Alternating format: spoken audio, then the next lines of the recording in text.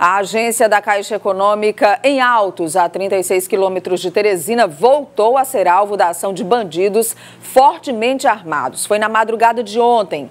Veja aí o estrago provocado pelas explosões. Na sequência você vai ver as imagens. Segundo testemunhas, pelo menos oito pessoas foram feitas de escudo humano durante esse assalto. De acordo com a polícia, os homens estavam usando armas de calibre pesado, como carabinas e fuzis, e se posicionaram nas esquinas do quarteirão onde o banco fica para impedir que a polícia chegasse perto. Você vê aí o escudo humano que foi feito pelos reféns. Após as explosões, também segundo a polícia militar, o bando liberou alguns reféns, mas levou outros em carros e foi liberando à medida em que iam saindo da cidade. Os bandidos fugiram por rodovias estaduais da região, uma delas ligando as cidades de Altos e Alto Longá.